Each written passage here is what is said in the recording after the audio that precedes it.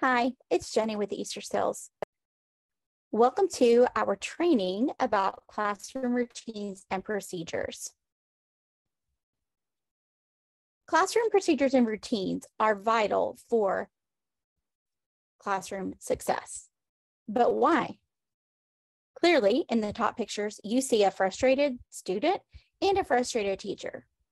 Well, here's some other things that are often experienced when there are unpredictable routines or undefined expectations for kids in the classroom. You see an increase in anxiety, an increase in challenging behaviors, an increase in dependence on adults. You have students that are off task and general confusion. And all of those impact your instructional time.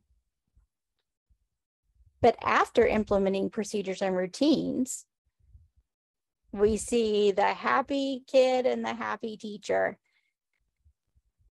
So when you have procedures and routines in the classroom, you see an increase in independence.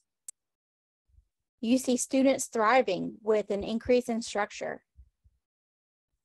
You have a decrease in anxiety, an increase in task initiation, increase student engagement, and a change for the better in LRE. All of those lead to an increase in instructional time. In short, routines are good for everybody. So let's talk more about why routines are so important. They increase independence.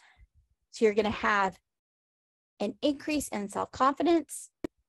It's going to free up staff your classroom is going to be more efficient, and it's going to give students the skills that they need for daily life. If routines are taught to automaticity, you're also going to see freed up brain space. Routines take brain power until they are automatic. Teaching them frees up that brain space for learning if you can get students doing those routines automatically. So here's an example. Picture your morning routine as you drive to work while you drive. Maybe you think about what you need to do after school, the groceries that you need to buy for dinner, and what you're going to have for dinner. And maybe you have a meeting today at school that you're thinking about. There are so many things that we think about uh, as we go through routine activities. Now imagine that your usual drive's interrupted with a roadblock or there's a wreck in front of you and you have to take a detour. Well, now your brain doesn't have that free space to think about what's for dinner, the meeting that's going to happen at school today. Because instead, you're thinking about each turn that you need to take to get to work. So we want those routines to become automatic so our students have brain space to think about other things during routine activities. And then you're going to see a decrease in anxiety and challenging behavior Predictable events let the students know what to do. We know that sometimes when students get bored, they're going to engage in undesired or challenging behaviors. So making sure that we tell students what they should be doing gives them something to do. It gives them a purpose, something to focus on. Is it going to work for every student every time? Probably not, but it will have a significant impact on your overall classroom.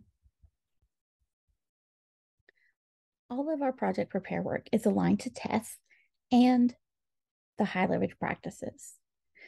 We know you feel the pressure of getting your content and your essential standards in, and we have some good news for you.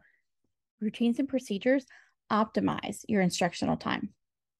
When procedures are in place and students have been taught to use them, teachers actually end up with more time to spend on teaching their content. Without good routines, it's very easy to lose 10 minutes of instructional time. If you lost 10 minutes a day, that's 50 minutes a week. That can really add up over the course of nine weeks or even a, an entire school year. If you add all of that up, that's a big deal. TESS for teacher evaluation tells us what good teaching looks like. And those special education high leverage practices, there are 22 critical practices which are used frequently in successful classrooms. And we have pulled out the specific ones in relation to procedures and routines.